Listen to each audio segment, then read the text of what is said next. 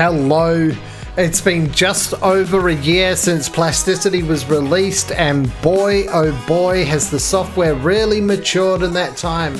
In this latest release, version 2024.1, we will cover some of the new features that really bridge that gap between solid modeling and surfacing. And I really truly think that these new features uplift what is possible within plasticity. And I am not just talking about the X-NURBS, but we'll talk about the X-NURBS as well. So stick around and let's get into it. Now it's been a little while since the last full update release of Plasticity and you may have noticed that the numbering convention has changed from 1.x, 2.x etc to a new numbering convention which goes by the year so like 2024.1 and so on and so forth. I personally do not mind how it's named or even how often it gets released on the sole condition that all of the updates are always bangers, so no pressure, guys. Just a little bit of housekeeping regarding renewal pricing before we get into it. And if you're just here for the new features, feel free to skip ahead onto the next chapter. Now, in regards to the pricing, the price hasn't changed since they increased it slightly last year to $149 US for the indie license and $299 dollars US for the studio license with 12 months of updates coming with each of them. Now the main difference between studio and indie with the exception of a few extra import and export options is that with the studio license at the moment you get X-NURBS which is a new surfacing feature uh, which we'll go into in a little bit. And you also get access to the beta version of Plasticity during your 12 months of maintenance. Upgrading and renewing just got a boatload easier with a dedicated page now for renewing and upgrading your license. When your one year of maintenance has expired, it costs $100 US to renew an indie license and $175 US to renew a studio license. If you want to upgrade from indie to studio, it costs $200 and you'll get an additional 12 months of update support. Okay, now if you're thinking about buying plasticity, you can use the code REFUGE10 at checkout for 10% off the price.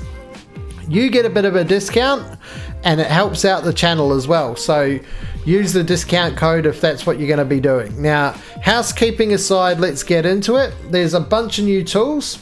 Now, what you can see on your screen is this um, uh, like late 90s uh, mobile phone in an orange uh, colorway. Um, I based this off the Alcatel phone. That was the first mobile that I bought. And I used pretty much all of the new tools to build this. So I would have had a lot of a harder time to build something like this in the previous versions of Plasticity than I did with this one. So let's crack into it and let's look at some of the new tools. Okay. Alrighty, so first of all, one thing that we should look at is people have been asking for this for ages. There was a hack, a way to do this before, but now you can get custom matcaps. Okay, so you can get all of your own matcaps in there or ones that you prefer um, for like looking at it or for even for modeling. Um, so I will go into that in another video. Um, and as you can see here, I can't get all of the um, thumbnails to work. Uh, I don't know what's wrong, but once I've got that fixed, I'll do another video on custom matcaps. So just so you know, they're there. Um, and I think that's really cool. Okay, so moving on to another new tool. Okay, this one's not like an amazing tool, um, but it is pretty cool and it's going to be pretty useful in some um, cases. I wouldn't call it a game changer, but it definitely is something. So when you make a pipe and you bring it out like that, okay, and we can um, give it a, a section size, we can give, we can hollow it out. And now if we click scale, we can scale it down, okay, and it will scale down the top end of the, or the far end of the curve from where the section size pulley is, okay. So that kind of brings me on to the next um, item, which is full round fillets. it's, well, it's bugging out here, but if we click full, we're going to get a full round fillet. Now, this has got a slightly different behavior to before than before, and I'll show you why. But first of all, let's just take out a box, and we'll see what uh, the differences are. So we got this box here. We'll just uh, make it a little bit more narrow. Okay. So when we do a fillet, you used to be able to hold down shift and you'd be able to go to the middle and you'd get something like a full round fillet. If you kept holding down shift, you'd get this kind of arch, which is cool and it's useful in its own right. Now, if we do a full round fillet, which is, which you'll see here is a new, so we got the chordal fillets in one of the last updates, you know, to add to the Conic and the G2. If you were early adopter, we only had these two to begin with. Then we got this one, and now we've got this one. Now, what's cool about this, I don't exactly uh, know, um, Nick explained it better in his video on the Discord, but essentially what happens is that um, it tries to make a the, the center between these two uh, fillets uh, the point of the arc. So where that comes really cool is if we just um, build up a little uh, thingo here, okay, and we'll just make that, and then we will scale this down, move it a little bit, pull this up through W to boolean it, and we'll pull this down a little bit. Previously we could do this, okay, and we could even pull it by holding shift quite far. Alright, but it's a bit funny. Now, if we try and do this with a full round fillet, you'll see what happens. Okay, so the center point between, no matter how fat that is, I mean, there's going to be a two point where it gets too fat and it'll fail. The center of the arc is always the equal distance between these two points. So this would be really cool for, I don't know, in this case it looks like a ring, so jewelry design and stuff like that. So I think that is a really cool um, new feature and it's going to be really handy in a lot of cases. And then let's move on to the next one, which I personally think is possibly, and this is for both indie and studio license, but I think possibly this is the, the coolest new feature and it's CV's editing. So what we've got here, we've got a, a normal cube shape here. Okay, we can pull things in and out. Okay, we can grab edges, um, we can fillet them, we can chamfer them, we can pull G and we can pull them around a bit. You know, as long as you don't try and pull it too far or in the wrong direction, it's not going to work. Okay, so now you can either rebuild the curve, okay, which might work in some cases, but an easier way or a more precise way to do it is uh, you can raise the degree Okay, so we go to raise degree, it's set to shift S, just like subdivide. So you can kind of think about this like subdividing um, like you would in Blender. So now we've first subdivided it, we can now actually grab the point on that corner and we can pull it back like that.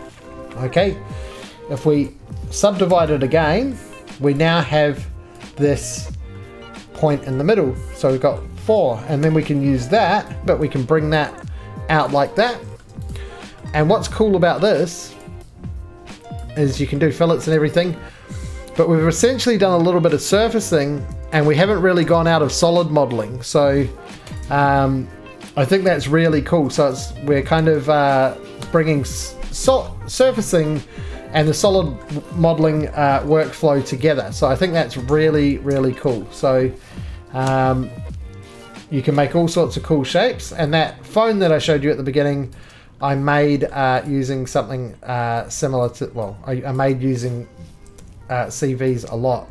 Now, um, now that we've discussed that, let's get another shape. Um, cube, and now what we've also got is dependent offsets. So we can make an offset now and just choose a face and it will match uh, the other face. Okay, so this is really useful. So it's a little bit like match face, okay? But you can do it from other um, areas. So for example, if I just had a something over here, I don't know if this will work or not. This might not be a great example. Let's offset it and choose this. Okay, you can see what's happened here. It's tried to match that face. And then what we can do is we can just bring that back. Okay, and we've got a really cool new shape. So this is like super powerful. So you can just sort of use the shapes that you've already established with these um, solid modeling tools. Okay, and, and then you can make even more new shapes. So this stuff, I don't know, if, if you knew watching this, all of this stuff wasn't really available before and you had to find other ways to do it. Um, and now we've got it.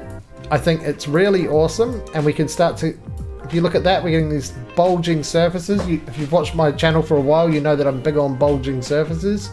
So this is really, really cool stuff and it's really, really powerful. Now, um, finally, I know there's other new features and stuff like that, but let's just talk about X-NURBS a little bit. So X-NURBS is sort of, it's not a replacement for lofting and patching. Um, it's only available in the studio version, but it is a super powerful tool. I did do another video on it when it was in beta, um, and you can go back and watch that if you like. But what X-NURBS is, is essentially, it works in a couple of ways. You can use it like loft, so I'll get rid of this face here.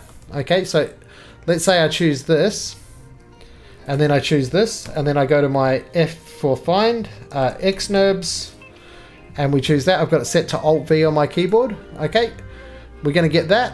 If we tab through, we're going to get G1s and G2s. You could also set, select a whole loop by, you know, alt clicking and you can press um, X-NURBS and you're going to get an X X-NURBS there and you can do G1 and G2. And let's just, for example, try and patch that. It fails at G2. So if we're using the patch command, um, or if we're using X X-NURBS, we can actually get more out of it. And then there's other things that you can do. You can play with the flatness of it and um, you can say if it's natural or normal. You can do a quad-sided one, which won't always work. It needs to be sort of quad-sided. Um, and you can also uh, mess with the quality of it as well. And then once you've accepted it, it comes up as a new sheet called an X-NURBS, and then you can join it to your model.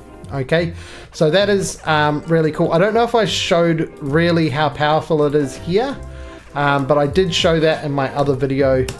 Um, let's have a look here. So let's get rid of this and let's patch this on. We can go to G1. Okay, and we'll check out our zebra stripes. Okay, we'll look at it from above. You can see the zebra stripes there are reasonably good. Okay, we'll go back and then we'll do it as an X-NURBS. Okay. And we can get right up to G2 without it failing. Okay, and then we'll look at our zebra stripes and they seem to be a lot more in unison with that. Now, I have noticed there are situations where patching and lofting, um, and another way you can use X-NURBS actually, um, is if you just don't have anything selected and you start to activate X-NURBS and then you can hold down shift and you can just start choosing edges and Bob's your uncle. So it's a super powerful tool. It'll help you patch and loft quicker, but there are cases where patching and lofting is still the way to go. Um, and in some cases a patch will do better than X-NURBS will and X-NURBS might start artifacts. So it's not a cover-all solution to speed up your workflow. Uh, there's a time and a place for X-NURBS and um, there's a time and a place for lofting and patching. So highly recommended that you learn both and figure out in which instances um, it's better to use X-NURBS and in which instances it's better to use um, uh, lofting and patching. Now, um, with all of these new features and the ones from the previous versions as well, Plasticity is really shaping into a really powerful CAD tool aimed at artists. It's super cheap compared to other CAD software, and I can't wait to see what another year brings. Um, I'm absolutely loving it, and um, what we'll do now is we'll do a, a short uh, video on um, how we can use some of these tools to build up a really cool uh, model.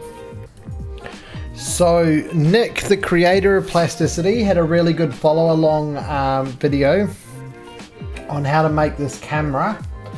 Um, so, I followed along um, and we'll just have a quick look at this. Okay, so this is not the exact one that he did, but he, he showed how to use all of these uh, new tools to make a camera. Uh, this is not exactly the same as what he did, but it's very similar, and I think it's a really cool. Um, it's a really cool uh, camera, and you can go and follow along on his uh, not the plasticity page, but on his um, uh, YouTube. Okay, and I think that's a really uh, cool little follow along, and it teaches you a lot. But in this one, we're going to try and do this um, phone that I made. Okay, so this is the um, Alcatel kind of model phone from the 90s. I sort of based it roughly on that and made it a little bit more sci-fi. So we'll just make a new file and we'll crack into it. So what we can do, we can just sacrifice the default cube in classic Blender style. Okay, we'll make a uh, corner box, press C to make it a center box. Um, and this is quite big, so don't want it to be that big. Okay, something like that. Okay. And what we can do straight away, I'm just to rotate this 90 degrees so I'm working from the front like that. Okay, so straight away we can just go Shift S and we can start subdividing our CVs. And what we can start doing is we can start just pulling our shapes around, make that a bit fatter at the bottom, a bit narrower in the middle, and just pulling and pushing our points like we kind of would do with poly modeling. So if you're familiar with poly, poly modeling, this is very much how we work. Okay, and then what we can do is we can just go into 4 and we can mirror this on the X, press Q to modify, and then we can just subdivide this roof here. Okay, it gets a bit convoluted with everything. So if you can select points and you can, as I said before, I, I, don't know if I said it before actually, you can type in toggle points and set it to a key and you can just toggle points. So now I've only got the ones at the top. Okay, so I'm going to pull these up like so. I might just make this a little bit fatter. I don't know, just playing around with shapes right now. Um, and pull this down Okay, so now we're starting to get a basic shape. Okay, and we can just toggle all of these points off. Okay, so now we've got a sort of, uh, it's not the same shape at all, but it's, it's getting there. And now we can just start to really fillet these edges, right, to build up our wider shape. And we're starting to get something very much like a phone, but we might want to not do that just yet. So we'll go back a couple of steps, okay, and we'll subdivide this face and we'll just bring this in a little bit, just in point mode only. Okay, and down the bottom as well. So what we're doing is we're actually building up quite a complex surface with curvature and everything. And it's overall, we can scale that in a little bit. So now we're getting this uh, more rounded shape. And then what we can do, and we'll inset this, or offset it rather, pull this out, okay, and subdivide this one a couple of times. Go into point modes only, and we'll give this a little bit of a, uh, a, a grippy shape on the back, okay, and then we can just fillet that out, move that like that, and that like that. Alright, so now we've got this shape. It's got a bit of curvature at the front, not much, but a little bit. So it's starting to get complex.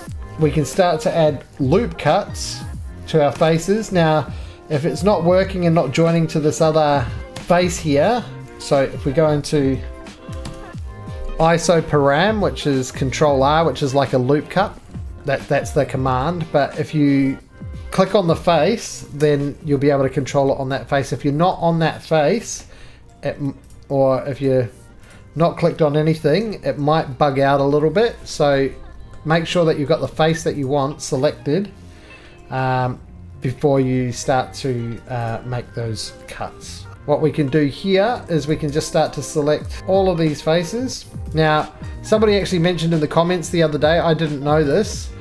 If you're trying to select something and you select left to right, it will only select it if it's fully selected. And if you select, sorry, if you select right to left, it will only select it if it's fully, uh, fully encased in this uh, green. And if you select the other way, it will select everything that's in that way. So if you select left to right. So handy little tip if you didn't know. So I'm just going to select all of these and I'm just going to shift D to duplicate them and turn them into a sheet. And I'm just going to thicken this sheet out like that. And then what we can do is we can give this some rounded fillets by selecting all of these. Okay, and then fingers crossed, it'll go all the way around like that. Okay, and then down the bottom we want the same. Okay, so we're giving this kind of like rubber rubber casing on the outside. Um, and see these shapes, we built them up without surfacing at all. It's all been solid modeling. Okay, so then we might want to just, and I know it doesn't look like the one I made before because I'm just moving quickly, but if you move a little bit more slowly and you, you deal with your bits and pieces, okay, we can bring this out edit the CVs again. Let's hide that one and we'll just pull these out a little bit further on this one. I just want a little bit of extra curvature to that face. Okay, and then um, we can hide that and obviously you can then start to just do what you would normally do um, with your normal modeling. So we can um, bring a circle in here, scale it down on the X. We'll bring them down to about where we want that to start, just below the halfway mark. Actually select it, pull it out a little bit. And we can just use our array. Obviously what we could do is we could then queue it out. This is where it gets kind of cool because what we could do is we could then use our CVs again. So Shift D, scale that down and thicken the sheet.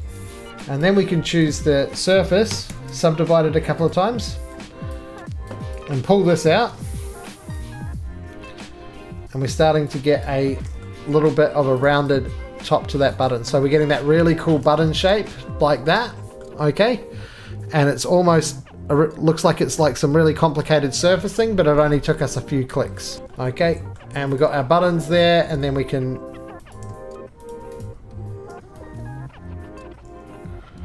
pull that out like that. I don't like the overall scale of this, I'm just going to select everything in body mode and just fatten it out a little bit. What we can also do, let's just make it a little bit different from how it actually is. Okay, so we'll find the center, make our screen roughly that size. Okay, let's just duplicate our curve. Okay, and let's make a, um, let's rotate it on the X. Okay, we can pull this out like that. We can subdivide this a couple of times. And actually, let's make this shift and space to make this a um, construction plane and then we can just pull these all out like oh make sure face mode is not selected and we can pull these all out like so and then when we pull this into here W okay alt control to select the edge ring. Okay. And then we can just go like this and start to offset it and try and match it to that face. Now it's failed so we'll just scale this up a little bit. And as we offset it we can try and match it to that face. Now it's failing, I'm not sure why. Um,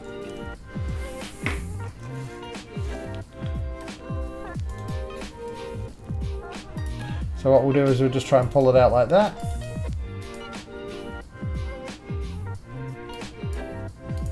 Okay, and there we've got it. Okay, so we had to we had to make a sheet out of that and now that we've got it, we can bring this back in here like that. And we can just pull that face back like that. And it's just a cool little feature. You can go so on and so forth, and you can keep using those techniques, okay, to build something up um, that's really cool. If you wanted to, you could then start to sort of like build up some stuff like this that you've got here, these sort of the speaker. I think I turned it into a camera on the one that I did. Um, but just a little of example of how you can use these tools to really build something that looks really cool up really quickly without having to do any surfacing. So I didn't do a patch, a loft, or an X-NURBS in there. And I got these cool surfaces. So I think this, the point I'm trying to make is that whether you get the indie or the Studio license, you're going to have access to super powerful tools and it's going to be awesome for you and you're going to be able to build up really cool things. So if we go back to the model that I made earlier, so for example, this, I I don't know, I spent maybe 40 minutes on this. The one that we just made now, I spent about 10 minutes on. So really, really cool stuff. So stick around um, for the videos, like and subscribe. And if you're going to buy plasticity, use the code REFUGE10 so you can get a uh, 10% discount off at checkout. See you in the next one. Cheers!